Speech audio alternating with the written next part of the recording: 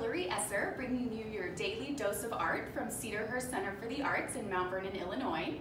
Today, I thought it would be fun to share a work of art with you that the public doesn't often get to see.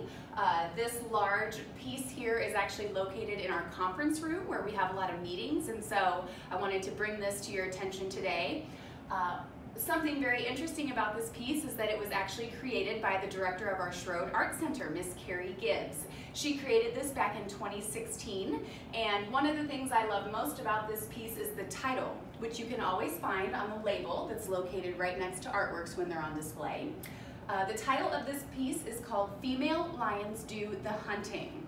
Uh, I really like that. I think there's some hidden innuendos there, and so I want you to think about that for a little bit. Another thing that I really love about this piece is Carrie's use of color. Uh, this lion just seems to kind of jump off the page. I love all the reds and the, and the oranges and the yellows and there's just so much detail in this big work of art that uh, I just really wanted to share it with you today. So next time you come by the museum, feel free to duck into our offices and take a sneak peek in our conference room and see this piece in person. So thank you so much for joining us today. I hope you'll tune back in tomorrow for another Daily Dose of Art.